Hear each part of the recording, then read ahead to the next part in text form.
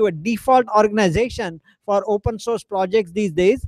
Um, uh, today I don't have time, but we should probably uh, learn his background. He comes from a very uh, illustrious computing family that has been part of computing for all along and open source and nonprofit. But maybe that is for another day. So, Jim. Thank you, Guru. Uh, that might be for another day. He's referring to my. Uh, I'm old enough to for it to be weird that I come from a a, third generation of technology. My grandfather actually uh, worked at Control Data in Minnesota and was one of the founders of Cray Research that worked on the first supercomputers. Uh, my dad was a lifelong computer programmer, so I'm fortunate enough to uh, be here. But my uh, background uh, that's interesting relative to uh, Guru and what you're doing is one of my first jobs was actually at an operator. I worked at a small company called Western Wireless in the Pacific Northwest. It was uh, uh, a wireless operator, which through a series of uh, acquisitions and consolidation is now T-Mobile USA. But uh, one of the things I did was worked uh, on our CLEC, uh, competitive local exchange carrier uh, programs. And at that point, uh, the uh, central office was something we just wanted to get access to it, right? As a competitive local exchange carrier. This was in the mid 90s and deregulation. And I would have never imagined that today the central office would now be uh, reimagined as a data center. I think Guru deserves a lot of thanks for having the ingenuity and the insight and imagination to really uh, rethink that critical part of uh, operators' networks. Um, and while uh, I'm glad to hear you say that uh, people might recognize my name, how many people here have actually heard of me before? See, it's not as many. It's not as many. Uh, but how many people know this guy? See much more. That's Linus Torvalds, the creator of Linux. Linux is really, oh, the Linux Foundation is the home to Linux. Uh, there we go. All right. Somebody asking Siri what to do? All right. There we go. All right, so everybody knows Linus Torvalds. The cadence of my joke now is completely ruined. Um, so Linus Torvalds again, uh, incredible. How many people here know that Linus not only wrote Linux, but he wrote Git as well? Two holes in one, right? In software, this you know, first time you're lucky, second time you're good, right? Uh, this this guy is perfect. And so the my role relative to all of this, the Linux Foundation is, technically as the executive director, I'm Linus Torvalds' boss. That's my claim to fame. Um, but you know what? I'm also the boss of this girl. Uh, that's my eight-year-old daughter, Nisha. Um, and what's funny is she actually shares a lot in common with Linus Torvalds in my role at the Linux Foundation. Uh, they're very, very similar, in fact. Uh, they're both clearly adorable. Right? Uh, they're both genius. As a proud father, I can testify to that. My daughter is genius, but so is Linus. But the, the most important thing is neither of them listen to, to anything I say. Uh, but you know, today we heard a lot about how uh, the, uh, the, operators are reimagining the central office, are creating innovative new architecture to meet the requirements of uh, broadband and streaming video and 5G networks of the future. And what I want to talk about is how to build communities in order to build the software that will indeed make that architectural vision a reality. And what we need to talk about before we get into that relative to Cord as an open source project is to talk about why open source is such an important way to get this job done. Open source today is uh, really redefining how any technology product or service or implementation gets delivered. You know, for a long time in the first generation of open source, open source was really just a fast follower of pre-existing kind of incumbent proprietary technology, right? You know, you had uh, a, a, database, you know, the Oracle database beget a MySQL database. You, you know, uh, the My, Windows operating system begot uh, Linux as a competitor, right? It was this sort of fast following uh, movement. But today that has really changed. We're entering a new world where real innovation is actually happening in open source before it's happening in proprietary uh, organizations. And in fact, open source is sort of leading, whether it's in big data, whether it's in the networking sector, like what we're talking about today. And then an economy is actually being created around these open source projects. Uh, Ping Li at, at, Accel Ventures, I think, puts it really well in describing the three phases of uh, innovation today, which is project, product, profit right? And Cord and the Linux Foundation work on the project side, building a community, critical mass of developers around a technology that then is uh, experimented with, innovated upon, and then productized either by uh, companies like AT&T and China Unicom or vendors like you know uh, traditional Huawei, Ben, Cisco, and others, uh, who all then make money off of uh, that. And that cadence now has sort of been figured out in the industry, in the open source ecosystems, and it's creating this acceleration of innovation that we're seeing, again, in all these areas of big data, cloud computing, and so on and so forth. And there's a huge amount of wind at the back of open source, which is why, again, it's being adopted to solve tough technical problems, you know, here at Google and all over the industry, in that we're shifting from a sort of product world in technology at the highest level towards really a service economy in technology. And you know, this is a somewhat old uh, quote, and you know, just of think of it generally. But as you move towards something like services at Google or services through an operator, services at Amazon, towards that product side of the ledger no longer being the profit center right? You're not making a license sale. You're not selling something physically. You're offering a subscription service. When you move technology to the cost side of the ledger, the bill of materials and so forth, open source just naturally wins, right? Because you want to lower that cost, you want to accelerate time to market, uh, and then you make your money on an ongoing services base. So it turns out, you know, AT&T, you had it right all along, right? Like the, the services model really uh, is what works. Now, what, what also is happening is that open source is dominating almost all code because you can't build anything these days and be competitive without open source. GoPro doesn't go out and build their own kernel, right? They don't build their own operations. You know, they're only focused on the user interface and experience of using that uh, uh camera. Everything else underneath it is open source. Even Apple, it, how many people here have an iPhone? A few of you? Go into like general about settings, legal notices, and it's way down in, in, in, the, in the phone, and then skim through the hundreds of open source components and licenses that you'll see in there.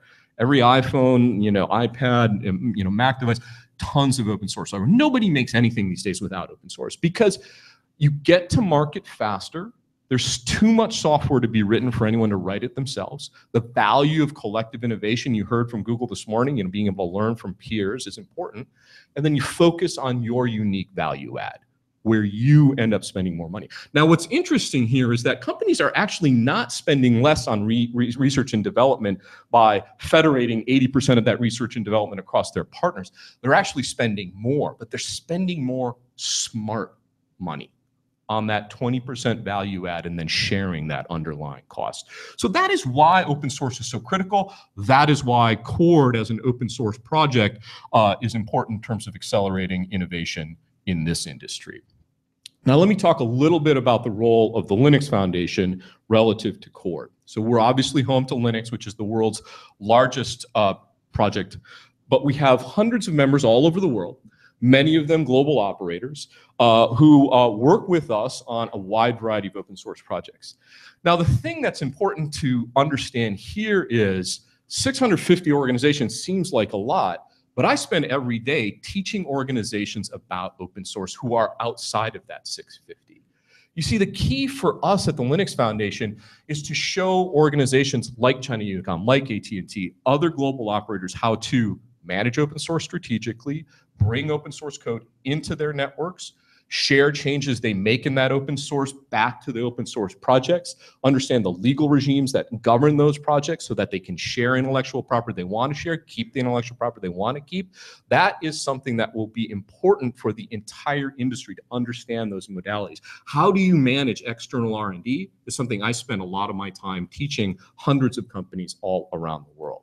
Because open source projects like Cord have a common set of things they need to work, right? You need a governance structure and membership, right? There needs to be a central place where the shared intellectual property assets can be neutrally held in an antitrust free environment so that we can all co-create on that, right? If, if the assets, whether it's the trademark, the copyright, are held by a single vendor or a single entity, it doesn't work because you're not going to be able to get your fellow competitors to co-invest if at some point one entity can kind of pull the rug out from under you. And so that's why organizations like the Linux Foundation and the Cord Project exist, right? And we set up structure where people can come in and invest.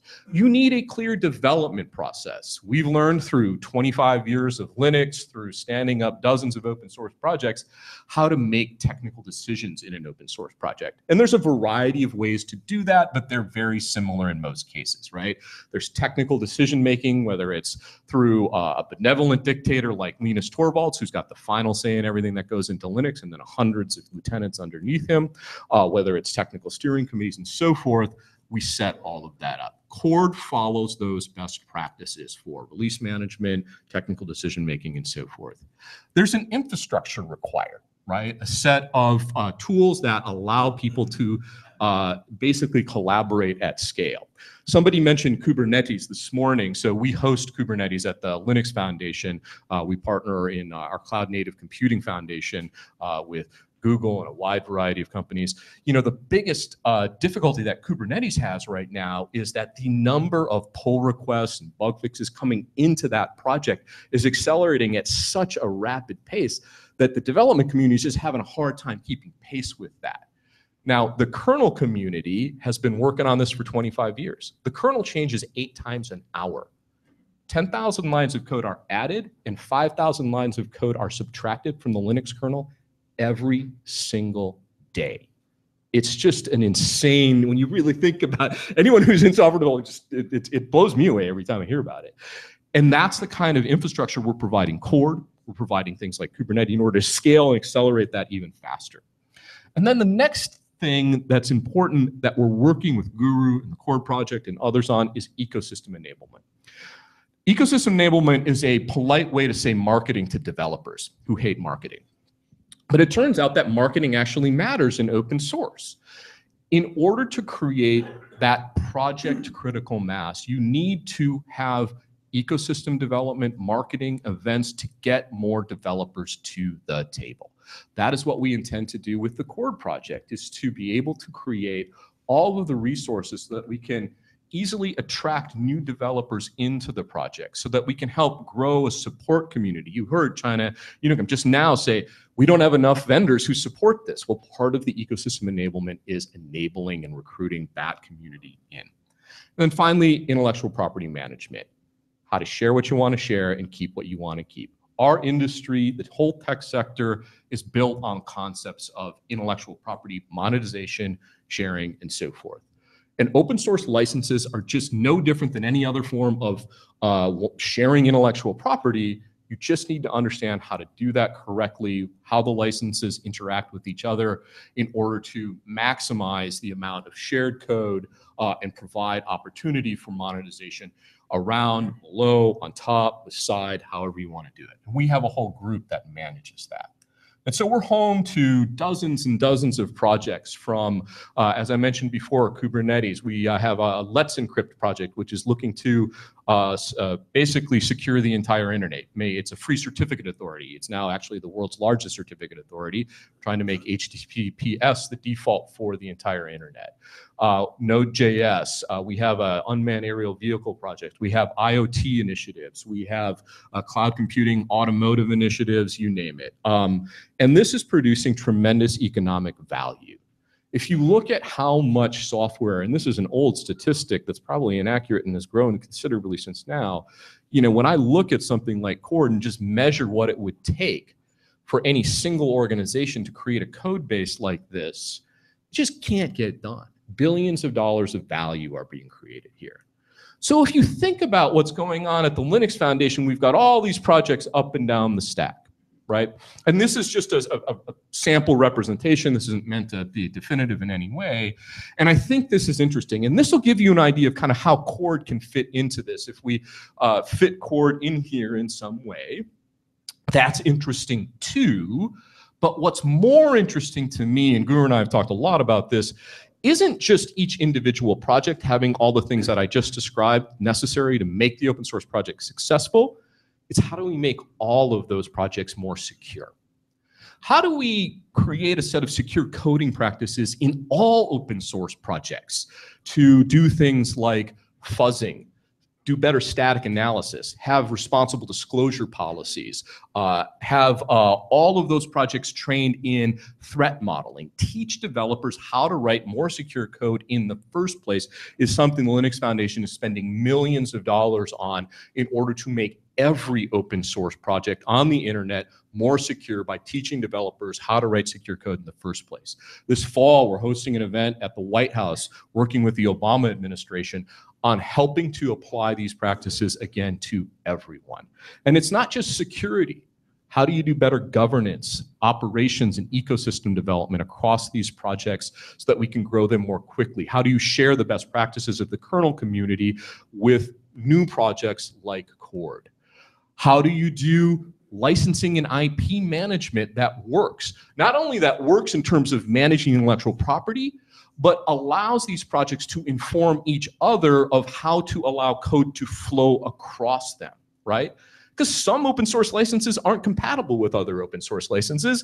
And if you don't look at your adjacent projects to understand which ones might be important to integrate and you get the license choice wrong, you kind of shut the door to interoperating or you know pulling some of that code in. And so we want to share those practices across all of these projects. And then finally, training and certification. Again, just the previous speaker teed this up perfectly. One of the challenges uh, he mentioned was the lack of skills, right? We see this all the time at the Linux Foundation. You have this huge developer momentum, right? The industry starts to adopt this code, but there are no skilled practitioners who actually know how to deploy this at scale. Right, you still have you know network admins who know uh, a Cisco CLI, Cisco CLI, and they they don't know how to manage a new SDN NFV enabled world we have to train them or it's going to be year we, we might have a great technical solution here but it will years before that gets deployed because there's just simply not enough people to deploy that. Um, and so we're working on all these things in networking. And we've got already a variety of projects at the linux foundation in the networking sector but we're really excited about cord now i know we're running behind so i'm going to quickly wrap up with a few challenges i'd like you all to think about today and we're at the Linux Foundation here to work with Guru, the Cord project, to help with these. And those challenges just quickly uh, are going to be what I already described. Training is going to be a bottleneck in Cord and every single network function virtualization, SDN, management and orchestration, data plane service, any of these, as we move towards this new network, I'm telling you, training and certification is going to be a big bottleneck. Here's some ideas about how we can solve it. And we've been doing this in Linux for quite some time we have to create a funnel to drive training through and allow people to retool their careers into this new paradigm, right? It starts with offering free, massive open online courses. We have a partnership with edX, which is the Harvard MIT partnership to allow uh, people to take free uh, courses from those universities. We're one of the non few non-academic institutions that provides uh, this kind of courseware. You then take that free learning and provide self-paced e-learning anywhere, anytime, so people can come in and learn these skills, whether it's through something that's mandated by their employer or something that people just do themselves. Classroom red training. We have an online certification and testing program that we've rolled out for cloud computing uh, practitioners, for Linux certified administrators, that allows companies and organizations to have an engineer come in, gives them a set of things to just go and deploy, and then it's a real time way that they have to go and prove that they can do that. It has to be anytime, anywhere, in order for people to prove that they have the skills to fit the bill. This is something that we really are excited about doing in the SDN and NFV space. Guru and I have discussed this quite a bit because, again, there's this big bottleneck in terms of skills to enable all this technology. Events is another thing we want to focus on. You know, uh, one of the things that you may have noticed is the Linux Foundation worked with Guru to uh, uh, take over the management of the Open Networking Summit. We think this is a great place to gather the industry. And I want to be clear about why events are important to the Linux Foundation. We're not an event management company. 15 years ago, we decided events were important because if Linus and all his folks uh, if, if they're left to duke it out on a mailing list, it's going to take like a year. But if you get them to an event, they actually make decisions, right? OpenSSL recently was a good example where uh, after Heartbleed, we uh, had the OpenSSL community meet for the first time ever. It's like a 20 year old open source project. Clearly, they had issues. They made decisions about architecture, about refactoring that code, about bug, uh, bug fixes, and so forth quickly. And we got to do that this at every level. And this, you know, these these are just sort of random picks of projects, but big events like ONS, let's consolidate these so that developers don't have to go to 50 events a year. I mean, you're like, I'm sure all your frequent flyer points are doing great, but you're also probably fatigued and your family's mad at you. We should do community specific events, hackathons, local user groups. All of these are going to be challenges. All of these things are going to be important. The final thing, and then I'll, I'll wrap up here, that is going to be a challenge for this industry is the intersection of open source and standards, right? What's happening here is that standard setting and open source are sort of converging. And uh, what's happening is that there's a huge demand to get technology to market quicker to essentially provide a reference implementation along with some form of specification. And it's accelerating the number of big open source projects out there in the market. It just you, can literally see this sort of shift happening in the industry where you have fewer open standards consortia launch and you have more of projects like CORD being launched over time and the key thing for, in particular, the networking industry to understand here is that these things are not mutually exclusive. That uh, the standards development component of this industry is very important to work in conjunction with open source development. And we really care about this at the Linux Foundation. You know, open source developers think, uh, or open source developers from a standard setting perspective uh, is sort of the wild, wild west. These guys don't care about intellectual property. They don't care about uh, standardization, about consistency. This is how open source folks think about standards professionals. Uh, but the reality is that we need both. And uh, this is something that Guru and the Cord Project and the Linux Foundation are going to work with standards bodies to help the intellectual property regimes, the uh, confidentiality requirements of the SDOs intersect with open source, right? One is less confidential, fast moving, one is more confidential, perhaps more thoughtful and uh, slower moving purposely we can do better by innovating in both. I am personally working with large standards development organizations to help sort of normalize that interaction. There's also going to be, uh, and I'm just going to go through this, um, there's also going to be times where we're going to discover across all these networking projects standardization opportunity, common data modeling, network definitions. And we might spin up new uh, standards development efforts as a result. That's the beauty of having all these projects uh, working together. So I won't bore you with all the details on why standard setting matters, but obviously since I spent a, a bit of time on it, uh, it's something we all need to pay attention to. Here's my predictions for 2016, 2017.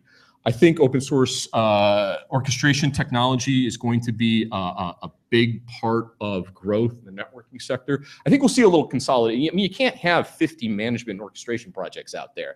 At some point, you'll see a little consolidation uh, as these projects sort of uh, grow and prove themselves and perhaps merge together data analytics. I think uh, uh, Al Blackburn uh, pointed out that data analytics is going to be uh, an important part of this ecosystem. I think you're going to see more open source projects focused on network analytics, big data, and, and, and helping in this area as well. Uh, we think that uh, there will be a lot of commercial support organizations that spring out of these open source projects. Open source projects tend to be uh, uh the, the market that happens before this productization happens. So, you know, as Cord accelerates, there will be meaningful commercial opportunities for insurgents, for incumbent vendors, for service providers, et cetera. And we think that'll develop in 2017 and it'll provide that support that uh, operators are looking for. So we're here to help. Guru, I'm very excited about and congratulations on, on this uh, event and the launch of Cord as a, an independent project. Uh, and if there's anything uh, I can do for you, please don't hesitate to ask. Thank you very much.